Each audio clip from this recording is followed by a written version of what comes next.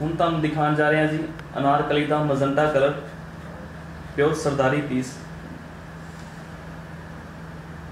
ਇਹਦਾ ਜਿਹੜਾ ਬੇਸ ਲੱਗਿਆ ਜੀ, ਪਿਓਰ ਕ੍ਰੇਪ ਬੇਸ ਹੈ ਜੀ। ਪਿਓਰ ਚਨੌਨ ਦਾ ਇਹਦਾ ਦੁਪੱਟਾ ਹੈ ਜੀ। ਦੁਪੱਟੇ ਦੇ ਉੱਤੇ ਜਾਲ ਬਣਾਇਆ ਫੋਰ ਸਾਈਡ ਦੁਪੱਟਾ। ਵਰਕ ਇਹਦੇ ਉੱਤੇ ਹੈਂਡ ਵਰਕ ਕੀਤਾ ਹੋਇਆ ਹੈ ਸੀਕੁਐਂਸ ਵਰਕ ਕੀਤਾ ਹੋਇਆ। ਹੈ ਬਹੁਤ ਹੀ ਯੂਨੀਕ ਪੀਸ ਹੈ।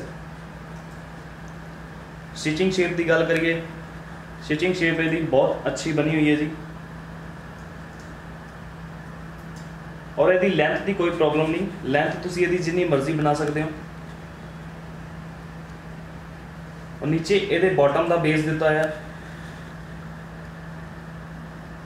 ਤੁਸੀਂ ਸਲਵਾਰ ਬਣਾ ਸਕਦੇ ਹੋ, ਪਜਾਮੀ ਬਣਾ ਸਕਦੇ ਹੋ ਜਾਂ ਲਹਿੰਗਾ ਬਣਾ ਸਕਦੇ ਹੋ। ਔਰ ਇਹਦਾ ਪ੍ਰਾਈਸ ਰੇਟ ਬਹੁਤ ਹੀ ਜੈਨੂਨ ਹੈ। 15400